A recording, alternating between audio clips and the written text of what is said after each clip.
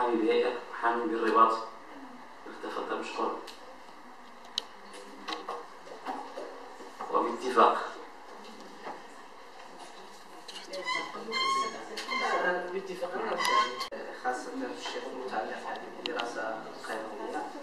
آه، أكيد أن هذه الملاحظات ستأخذ طريقها نحو البحث من تجليد جويده آه، العديد من الملاحظات كانت عبارة عن آه، اختلاف على مستوى وجهات النظر.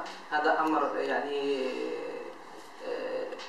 محمود يمكن نتفقوا يمكن نختلفوا لكن في نهاية المطاف ما كاينش أخطاء قانونية.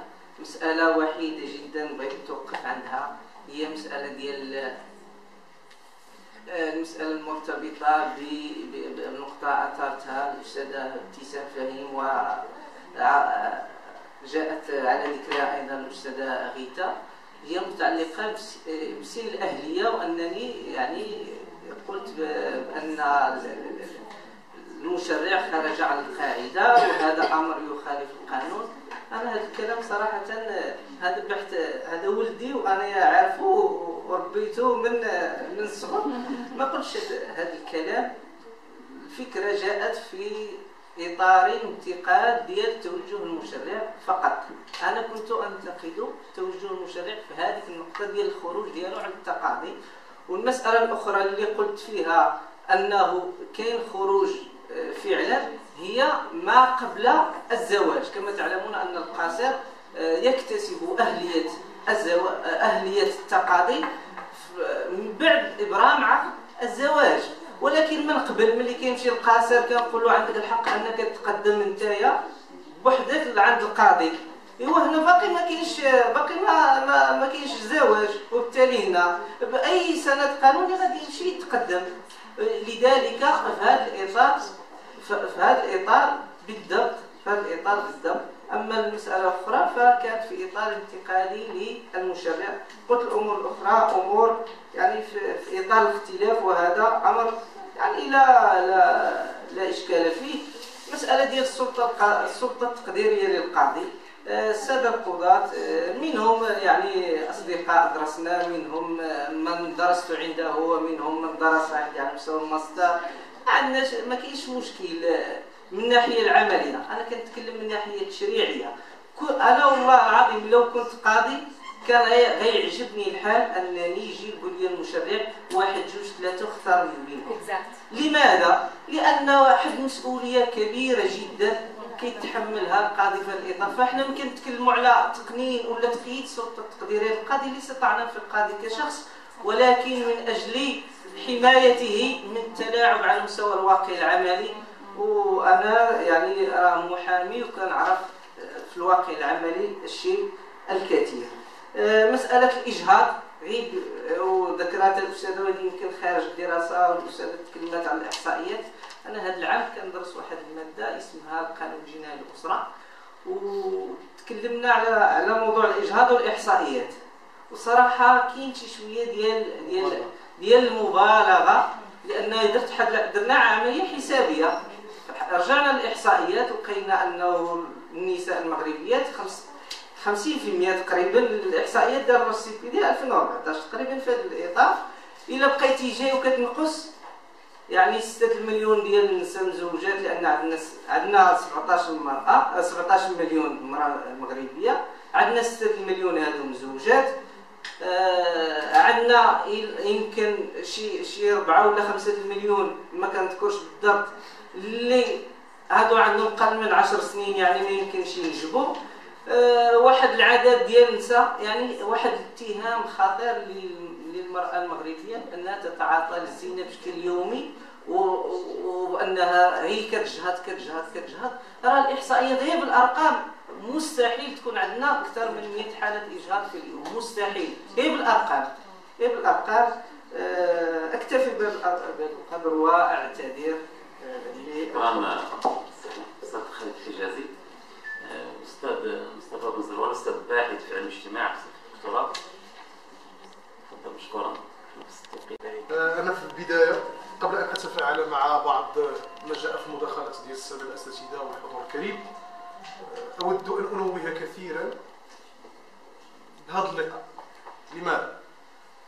السابق مثل هذه المواضيع ديال تزويج القاصرات ومواضيع ديال الحرية الفردية عموما ومواضيع مرتبطه بهذه القضايا التي تثير حساسية دائما ما يتم يعني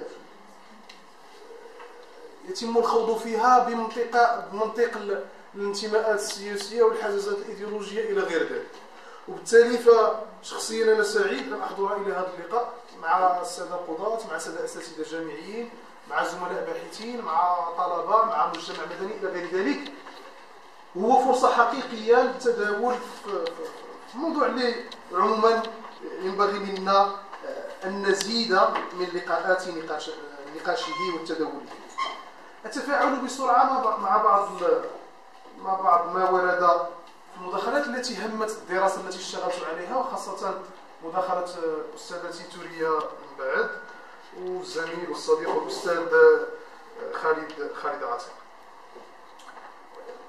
المداخلتين بجوج ركزوا على جوج ديال المسائل الأساسية متعلقة اولا بمسألة المفاهيم والمساله الثانية متعلقة بال- بالمقاربة المجالية مادام أن الأستاذة مهتمة بالدراسات المجالية على وجه التحديد صدقوني اساتذتي الأفاضل على أنه لو أردنا أن نحدد مفهوما ما لما قمنا باش نكون واضح؟ واعطي مثالا لماذا؟ مثلا عندما أتحدث عن عن مفهوم مثلا باعتباري مثلا أستاذ فلسفة. عندما أريد أن أشتغل مثلا على مفهوم مع تلامذتي.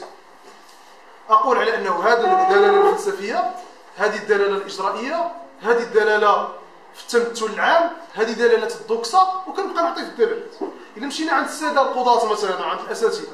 ف- لا يمكنك أن تؤول ولا ت- تزيد ولا أن تضيف على المفهوم اللي ديجا محدد في مرجعية قانونية. ولكن اذا مشيتي عند الأنثروبولوجي مثلا له على القاصر سيعطيها تعريفا محددا. الأستاذ آه، الممثل المجلس العلمي كيف سمى القاصر؟ لك ما كايناش هذا المصطلح ديال القاصر كاين مصطلح الصغيرة. بمعنى أن المفاهيم هي بنية متحركة وبنية دينامية. وحتى المفهوم يختلف من مجال إلى مجال آخر. وبالتالي فأنا في دراستي الذي اضطرني في اختيار الدلالة ديال هذا المفهوم هي الدلالة الإجرائية والدلالة التي انطلقت منها الهيئة التي تنظم الدراسة اللي هي منتدى الزهراء اشتركتها مع وزارة الدولة المكلفة بحقوق الإنسان. دراستي لم تكن متحفظة ولم تكن كذلك منطلقة ولا حداثية ولا آه، تغريبية ولا دراستي حاولت فيها ما أمكن أن أكون موضوعيا ما كنقولش موضوعي وإنما حاولت أن أكون موضوعيا لأن الموضوعية آه، أعز ما يطلب في, العلوم الإنسانية اليوم. الاستاذه الكريمة في الآخر تحدثت على أن الوعي عدو العلوم الإنسانية وهي مقولة بالمناسبة ديال آه، كلود آه، كلود ليفي ستراوس وهنا غنجاوب على مسألة الصدقية أو المصداقية. صدقوني على انه ملي كتجي مثلا المنطقة ديال ديال اغباله مثلا. وأنا اشتغل معي فريق بحثي اللي مثلا اشتغل على توزيع توزيع توزيع الاستمارات. لكي تقنع لكي تقنع مبحوثة أو مستجيبة بأن تتفاعل مع استمارتك فجهد خرافي يجب أن تبذله من أجل أن تجد مستجيبة لكي تتفاعل معك. وبالتالي أنا أتفق مع الأساتذة الذين يتحدثون عن المحاذير الإبستيمولوجية. وعن بعض الإشكالات أو عن بعض الثغرات الإبستيمية التي يمكنها أن تتسلل إلى الدراسة. ولكن أقول على أن الأمر عادي لأنني أشتغل على موضوع اللي هو موضوع لا زال طابو خاصة في المجالات في المجالات في المجالات القروية. الحديث على الأستاذ السي مصطفى اللي تحدث على النتائج من بعد. هذا من بين من بين الأمور التي يمكن أن تحسب للدراسة لربما تحدثت عليها الأستاذة بشرى هو أننا ما اقتصرناش على سليم هذه هي الأخرى ما اقتصرناش على آه، اعتذر الاخرى الاخرى الاخرى الأستاذ يحفظك. ما اقتصرناش فقط على ما اقتصرناش على المتزوجات أنا القاصرات أنا لا بالعكس بل المستجيبة للعينة باختلاف فئات الفئات كاين اللي متزوجة وهي قاصرة ولكن حاليا عندها مثلا 30 سنة 40 سنة 50 سنة باش نديروا نوع من المقاربة ونتعرفوا ما امكن على تطور التمثلات بخصوص قضية زواج القاصرات. آه، اعتذر آه، ان إن أطلت. أكيد أن الملاحظات ديال السادة الأساتذة ستجد طريقها إلى المسوده الأولى للدراسة السوسيولوجية. أجدد شكري مجددا. اعتذر الرئيس وشكرا جزيلا للجميع أيضا العقل المغربي يقول رايه في كثير من القضايا والذي يميز العقل المغربي على طول التاريخ انه عقل نقدي جري لا يمكن للمياه الداخله أو الخارجيه ان تدخل داخل داخل النسيج الاجتماعي المغربي وبالتالي كل الاستعارات المفاهيميه التي تاتي من الخارج أو ما نسميه بالمفاهيم المهاجرة والاعتقادات المهاجرة التي لا تنسجم والسياق المغربي والعقل المغربي ومعتقدات الشعب المغربي. وبالتالي نحن الحمد لله اليوم أمام قضيات في مستوى عالي جدا أمام الأساتذة جامعيين هذا التناغم بين بين البحث الأكاديمي وبين البحث القضائي وبين البحث السوسيولوجي الاجتماعي أعتقد ممكن أن يقدم للمغرب. على هذا المستوى تطور مهم جدا. آه، ختاما نجدد الشكر. بعد إذا لم اتفاعل مع الاساتذه الأجلاء ان لدي فقط بعض النقاط التي لم أقولها فيما يخص المصلحة الفضلى إن لم يكن المشرع المغربي قد يعني أعطانا مفهوم عام للمصلحة الفضلى فانا ارى ان هذه المصلحه الفضلى ضروري ان تكون أن نجد مفهومها سواء في الشهادة القضائية أو في الفقه. النقطة الثانية السن الأدنى لم يتم كذلك تحديده فنحن نعرف شيء 14 شيء 15 شيء 12 إلى اخر ذلك النقطة الثالثة رغم أن الخبرة الطبية وضعت للاستئناس فإنما هي مهمة جدا ويجب أن تكون واجبة وليست للاستئناس لأنها نوعا ما ستحل المشكلة نسبيا. وأخيرا أقول نحن نواجه عدم تجانس. l'incompatibilité totale عدم تجانس فنتحدث عن بلد مرجع الإسلامية. هنالك مصادقة المغرب على المواثيق الدولية. قوانين مدونة الأسرة من جهة العرف من جهة أخرى. فتبقى ظاهرة ظاهرة متشعبة جدا ولا نستطيع أن ننظر إليها إلا من وجهة نظر شمولية. وأرجع إلى المتدخل آه، يعني قام بتدخل يعني جد جميل. قال ما هي الاستنتاجات؟ هل فعلا يعني زواج القاصرة يعني لديهم استنتاجات سلبية أم لا؟ فهذه نقطة استفهام وهذه وحدها لازمها دراسة. شكرا. اليوم دراسة سوسيولوجية هنا أقول هذا أمر موكول للهيئة التي أطلقت الدراسة وهي منتخب الزهراء في علاقتها بهيئة الشركة. وهي التي ارتأت عملية الفصل لأن الرهان هو رهان ترفعي من أجل تجويد السياسات العمومية فيما يتعلق بقضية يعني تزويج القصر. قيل على أن الجداول جاءت في الدراسة السوسيولوجية دون تحليل ودون متن نظري. وهذا يعني ربما سقط سهوا من الأستاذ المتدخل لأن هذه المساله عرفت يعني مناقشات على نسختها الأولى ونسختها الثانية بين الباحث واللجنة العلمية وبالتالي أنا أدعوه للرجوع إلى نسخة الدراسة. أيضا كانت وأنا اتفاعل مع الأخت أعتقد التي أشارت إلى أن القاضي عنده القدرة على الحكم على القصير في مدى امتلاك هذه القدرة العقلية. وأنا أقول هذا مسألة اختصاص وإلا حتى اختصاص القاضي يمكن أن نوكله لغيره. الأخصائي النفسي هو الوحيد الذي يمكنه أن يقدر مدى يعني آه، آه، اشتمال هذه القصر ومدى يعني قدرتها وتحملها المسؤولية؟ لأن الأخصائي ال psychologue يعتمد على les tests يعتمد على les échelles اللي عرفت دراسات عالمية وعرفت تبيين للبيئة المغربية. نعطيك عينها مثال بسيط. أنا جاتني حاله جاتني السيدة جابت لي عنده 20 سنة تشتكي من أنه لا يريد أن يدرس ولا يريد أن يشتغل. ثلاث جلسات في إطار جلسات نفسية اكتشفت أن الشاب يعاني من تخلف ذهني. التخلف الذهني لا يظهر دائما. بالتالي خصو واحد الاشتغال ولا يمكن للقاضي مع كل احترام. تقدير السر والقدرات أن يقوم بهذا. قيل وهذه ما قبل الأخيرة ليس لنا الحق في مساءلة الواقع. وهذا يطرح تساؤل كبير على مدى مشروعيه ومدى حاجتنا للعلوم الإنسانية وعلى رأسها علم الاجتماع علم الاجتماع جاء أساسا لمساءلة الواقع. والظواهر يعني الاجتماعية شأنه شأن باقي يعني التخصصات التي تتقاطع معه في جانب علم يعني العلوم الإنسانية. آخر شيء هناك اقتراحات كثيرة يعني توجهت لهذه الدراسة. نتفق معها جملة مفصلة في اقتراح العديد من زوايا الاشتغال والدراسة لهذه الدراسة وأن تكون دراسة تكميلية.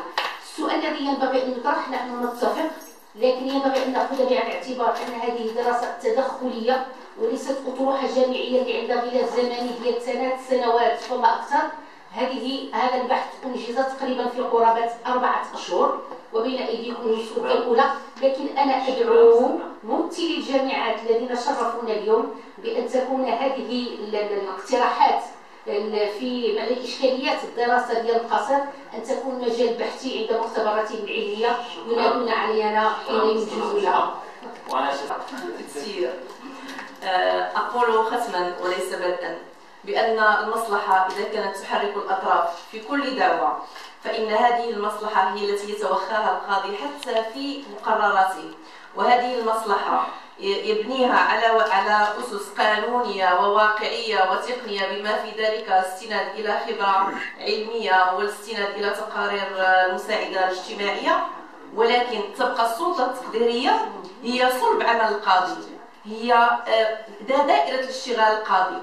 وفي أي حال من الأحوال هذه السلطة التقديرية لا يمكن أن تمس بأي تدخل تشريعي لأن المشرع عندما يحدد الضوابط فإن القاضي لا يمكن أن يخرج عن هذه الضوابط القانونية ولكن مع إعمال سلطته التقديرية. وشكرا. أنا عجبني بعد هذا المشروع ديال هذا المشروع اللي علاش؟ لأنني قريته وعجبني صراحة. لأنه كان حاول يعني كما قال الأستاذ حاول باش يكون موضوعي. لانني جيت قريت اللي قبل منه تيجي يقول لك مثلا الزواج قاصر خاصنا نحيدوه. كيف يمكن أن نزيل يعني واحد المسألة هي متجذره في عروق الشعب المغربي؟ مثلا غير مثال مدينة بن صالح. إلا مشيتي قلتي لهم مثلا قاصر عنده 18 سنة عنده قل يعني 18 سنة تيقول لك لا هذه شرفات. كبرات. ما يهضروش معاك. ما لا لأن ما يهضروش معاك بهذا المفهوم ما يهضروش معاك بهذا المفهوم. وتجي أنت تقول لهم لا حرام عليكم تزوجوا القاصر. ووقعات كما لقينا شي شي أستاذ قبيلة دخل وقال بأن بصح وقعات القاضي لأنه رفض القاصر وخرج عند القاضي وقال لي ها أنت سيدي ما بغيتيش تعطيه الزواج تزوج بيا أنت. وخلى لي في الباب ديال المحكمه لأن شوف أنا كيعجبني مسألة تكون دراسة تكون موضوعيه وكجواب الاستاذ على القدرات العقلية بأن ما يمكنش يمكن يقولها القاضي غنعطيك مثال وغادي غنجاوبك على السؤال ديالك لأن ما يمكنش القاضي مثلا تجيك مسألة واخا تعطيني ساعه الرئيس واحد شوية ديال الوقت. لأن تجيك واحد المسألة ديال التحجير مثلا ياك. وتيجيك السيد تيجيك صحيح ياك. تيبان لك صحيح الشخص. وتيقول لك هو مثلا تيجيو هذوك الولاد تيقول لك لا حنا خونا صحيح. وحده هذيك الجيليه مثلا ولا شي السيد يجي بغا يحجر عليه عنده مصلحة ما بغا يدير لي فلوس هذا تيقول لك لا هذا مريض. حمق شي ملي تيسولوا القاضي؟ سؤال. كتعرف المحكمة هذا واش مريض ولا صحيح؟ وتيقدر الخبير مباشر ضحك تيجي الخبير يقول هذا مريض المحكمه تدير عكس ذلك. لأنه تبين ليها كاينة يد ما بأنه والاستاذ إلا كنتي في المحاماة غتعرف هذه المسألة. وتبين لك بأنه راه هذاك السيد هو المحكمة تكون متأكدة بأن السيد صحيح والخبير هذا تيقول لك لا السيد راه مريض من المحكمة واش عندها عرفت القدرات العقليه الحقيقية ولا ما عرفتش؟ أنا ماشي تنقول أنا القضية تطول عن التخصص. قاضي هو خبير الخبراء. وخير دليل على ذلك أن مقتضيات المسطرة المدنية قالت الخبرة لا تلزم القاضي. قد يتبين من الخبرة اللي جات عند القاصر بأن القاصر غير أهل الزواج. الكواليس الواقعيه ولكن القاضي يتبين له يتبين له عكس ذلك. كنعرفوا حنا شي آباء خرجوا طاولوا مع الخبير وقال ليه دير بأنها غير أهل الزواج. ووصلت أخبار بأن القاضي كاين شي حاجة إيد تما. هنا القاضي واش خبير خبراء ولا ما خبيرش خبراء؟ شكرا.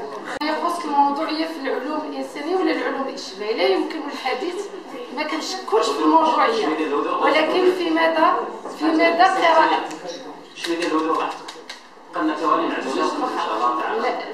باش نهضروا على الموضوعيه في العلوم الإنسانية لا, لا يعقل. نتحدث عن كيفية قراءة الأرقام والنتائج اللي ترتبت على واحد الدراسه معينة. إذا لا نشكك في الموضوعية نقدر نشكك في كيفية قراءة الرقم. وعطيتها مثال ملي كنمشيو للارقام الكبرى؟ في طبيعة العلوم الإنسانية دائما في التلميذ كنقراو الرقم الكبير وكنغفلوا الرقم الصغير. في حين ممكن التفسير يكون في هذاك الرقم الصغير. وهو الغفلات والدراسة. ثاني مسألة اللي باعتباري على دراية بالمجال الملالي. وتخصص جغرافي في هذا المجال شرط واحد المسألة رئيسية ولكن كانت تاخذ واحد المنحة وكس شرطوا ليها وقفلتوها. هي أن المنطقة هي مخبار بامتياز في مجال الهجرة الدولية وكنعرفوا المهاجر الدولي ومسألة الطلاق أن الجهة تسجل أكبر معدلات ديال نسبة الطلاق وأيضا أكبر نسبة على مستوى التزوج بالقاصرات اذا لم يتم التركيز على علاقه الهجرة الدولية بهذه المسألة ديال مسألة القاصرات والسلام عليكم. في واحد التوصيف عندك اللي نصوبه هذه ماشي مرافعة قانونية هذه أطروحات جامعية وقضاء جالس يعطي على الجميع وتفاعلا مدنيا هي مرا إذا سميتها هي في في الحقيقة مرافعة. العز هي مرافعة. اليوم الحمد لله داخل المجتمع المغربي يمكن أن نرافع في قضايا حيوية مركزيه داخل المجتمع بقوة. في الوقت كان البرلمان هو الذي يرافع الآن المجتمع المدني يرافع. يعني في النهاية دستوري أجدد المجتمع. حق دستور المجتمع. أجدد الشكر لممثل وزارة الدولة المكلف بحقوق الانسان على مع البرلمان. جمعية بكسر منتدى الزهراء خالد حجازي مصطفى بن زروالة خالد عتيق ابتسام فهيم غيتا ذكراوي ثريا. بعد. محمد بوعدود عبد الواحد بويتلام ليلى بن بشرى المراب أجدد الشكر للجميع. أدعوكم إلى حفلة شيء إن شاء الله تعالى. تقبل الله من الجميع.